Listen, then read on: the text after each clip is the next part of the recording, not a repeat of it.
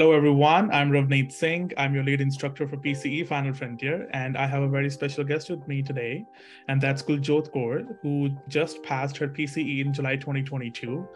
Uh, I'm very thrilled uh, to uh, invite and to introduce Kuljot with everyone, and uh, very proud to say that she passed her PCE in very first attempt. Kuljot, welcome to this session. Thank you, Ravneet. Thank you so much for this opportunity. Sure, uh, yeah. And thank you so much for your support throughout this journey. I've been preparing since like last few months and it was really nice experience with the whole PCE uh, Final Frontier team. All right, great. Thank you, Kuljot, for agreeing uh, to do this interview. Uh, I'm I'm naming this whole interview series uh, "The Solutions to the PCE."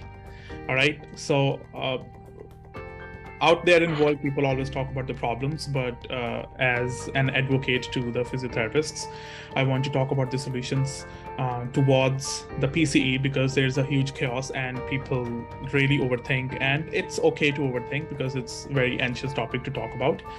So i'm going to ask you some questions and if you're okay just speak from your heart and uh, give us your thoughts about it. Yeah sure all right, my favorite question, and I'm gonna use this question for the first one to ask you. How did you feel waking up to be a physio in Canada?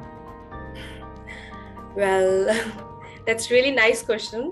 I haven't thought about this question, but uh, yeah, it was really nice after so many restless nights. I feel uh, feel felt very relieved. So right. like I felt very you know calm and so relaxed and a feeling of satisfaction, I would say. And uh, I felt more confident.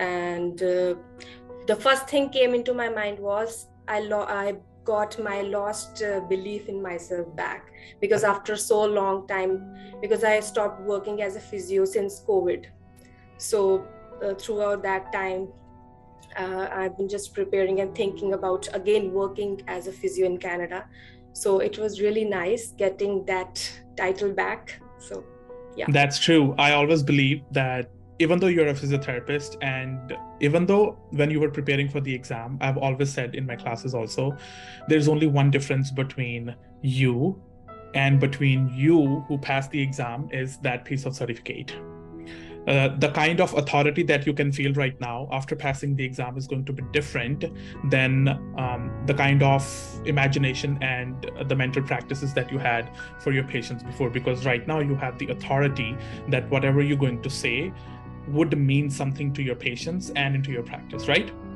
so I completely understand that. Okay, perfect. So let's move on to something which everybody wants to listen uh, from a person who passed the exam for the very first time in the very first attempt. So please tell me something about like what would you recommend to someone who just started preparing?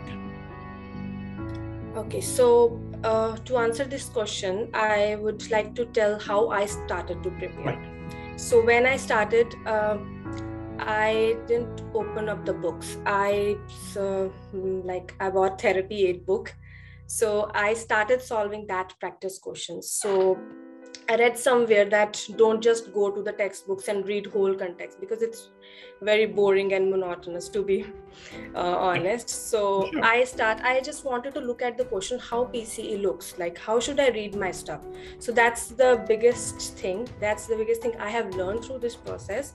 So the format, how the questions are being asked. So I read the questions, and then I had a look. I uh, solved uh, them and then i got an idea like how should i read my context? Then i went back to the books and then i started reading the stuff like in a form. Okay so this is the paragraph so how would the questions be in the exam? So that's the key point where you should start. Right so you're basically trying to say, try to understand the questions. Would you recommend everyone to look at the questions that are posted on the CAPR website to have an idea? Or would yeah, you sure. say TherapyEd would be a good idea to go with? So I did both. So CAPR also and TherapyEd also before reading the context. So that 50 questions I solved and the TherapyEd questions. And then I got an idea. And then I started thinking, uh, making questions in my mind. Okay, so what would be question from uh, this particular topic Right. So, so the basically uh, the basic idea is saving your time, so not wasting more time on the books. Right. So, like lengthy books, if you start reading from the first chapter, I remind, I remember your words also, me from the class. By the time you read to the intervention, if you're reading a chapter, your connection is lost, your right. um, concentration is lost. Right. Perfect. No, I can totally relate that. Uh, so you're basically trying to say that to understand how the questions are made, you need to get into the mode of solving multiple choice questions, and then you can relate with the content. This is how the question can be formed, and this is this is how it can be asked. So it's a great tip. I think um, uh, I would vouch for that too. All right, let's move on to the second question, which is kind of related with that. Did you study the books?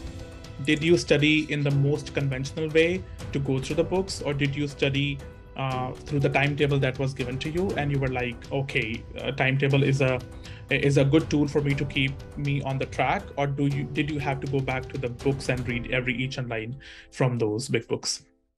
So uh, as i like said in the previous question i answered like so i didn't started reading the books. Right. So when i joined this course so i started re- uh, reading the mm, timetable readings that are given. So that are really helpful that that that's the one thing why i like like this course because in the timetable everything is given so like in a concise manner. You don't have to like uh, go and open up all the books. So it's really like concise concise. Like if you want to read one topic go to the timetable and like study that pdf right so at the starting like for um, when I started, I uh, I revised the stuff also from the PDFs only. Right. So only like if I feel like if I am not getting something, I want to read it in detail. Then only I went into book. If I want to clear my doubts. Right. Uh, yeah, only for that. Okay, sounds good. I have a question which you kind of mentioned a little bit, but I really want your perspective on this you know we keep t- we keep telling each other about work smarter than harder you know what is your idea of smart studying through the whole process of 4 to 5 months that you spent with us what is your idea of smart studying? So um, i think it's not about only studying it's about training your mind training your personality. I read it somewhere that education is not about only studying and uh, grabbing the facts. It's about training your mind. So you have to train your mind according to the pce format if you want to clear because it's it's really frustrating process. The actual exam is also very demanding. Like it's not like uh, if you are practicing the practice tests and you may feel anxious. So you have to train your mind that you don't feel anxious or mm, at that time. So your mindset would be like uh, uh, yeah so your mind should be like if i am in that situation so how should i act right so yeah. if i am not wrong what i'm trying to understand is you're trying to say think like a physiotherapist and yeah. act like a physiotherapist when you are solving those questions don't just treat yes. them like questions but treat them like yeah. patients yeah yes right. yes of course like uh, when i like it's very monotonous when you read from the book. You haven't right. seen that patient and you yeah. cannot imagine. So for that you can uh, like uh, watch some videos youtube videos and read from the blogs from from the internet um, also. So that's also a, a good idea to get a complete context. So it's not about cramming. First you have to solidify your concepts. So if you're clear you understand that topic and then only if you are forgetting some things because there are some things you cannot remember all the time. You have to go through them again and again. So for them you like you have to work harder. But for the concepts you like you should be clear. That is true that is true. Uh, i think it's now my second favorite question. How did pce final frontier model help you? I'm gonna give you some options okay? We had bonus content in the PDFs. We had bonus content in the videos, like for all the joints. We had daily discussions on Telegram group. We have one weekly discussions on the Telegram group. We have all the mentors who are active in the Telegram group. Okay, you had live classes. You had um, weakness class. Okay, you had extra webinars. Um, you had access to the mock exams. Right, you were given a timetable when to take which kind of practice exam. Right. So give me some idea of how did you manage with the course that PCE Final Frontier model provides you? And what is the best way for anyone who's joining the course and you would suggest like you start from here and follow the pattern? So I joined as a study bundle student, so I remember. so yeah so then i started you know what i started reading the timetable and i watched the recordings right. So then at some point i felt that uh, i should join the live course. Like it's it's good. Like because you have option to ask questions. You have an option to open a discussion. During the so, live class. yeah during the live class and the telegram group. So i switched to the full live course. And the was uh, the first thing i liked uh, is the live classes. The mm-hmm. most like the most favorite thing was the live classes. You know because uh, after studying so many years since there were some concepts which were like we haven't read right. during our bachelors even even during the masters. Right. Live classes helped me a lot. And you don't believe like uh, some of the topics i only watched the live lectures and you, you like your recordings. I never got back to the books. And i would like to mention that topics like cranial nerves gait and uh, spinal cord injury. So these three topics i know I n- never took them serious but during this course i never uh, get back to the books. I just watched your lectures and that was stuck into my mind and uh, no question was wrong from that topics i'm really awesome. happy. So that was the first thing. So because your lectures they are prepared in a way like you understand the thing and then you can uh, like if you understand the concept you can solve any question. Right. Because these are the basics. And yes of course the daily questions that was uh, you know in the morning the first thing i just uh, got to see a question and i saw so my mind started working. Like instead of uh, like instead of going and uh, talking to my family or doing anything else i just look at the question and that's a really good start uh, in the morning. And the format was really excellent about the timetables. Everything was covered. And i don't need to open up the book big books. And i solved all the mock exams i think twice maybe. And i solved all like uh, uh, questions on the uh, social media. Right. and where you provide the free resources and the on the app also npte app also. So yeah that was about the final frontier what i like the most. And i would advise every student to like uh, be attentive during the live classes. Because right.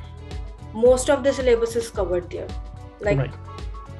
my well, like my 50% preparation was only from listening the lectures. And then i have just have to focus on uh, my weak points. Right sounds good uh, I personally really love live classes because um, initially we had thought that we would just launch the study bundle, but then because I'm a kind of person who likes to talk a lot, and this is what I really like uh, in the live classes, we need to interact with people and we need to understand what exactly they're thinking about the questions.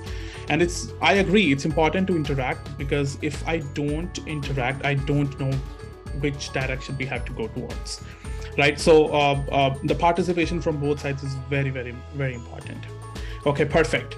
Now i think uh, it's time to wind up. Uh, Kuljot, once again congratulations. The whole team is so happy for you.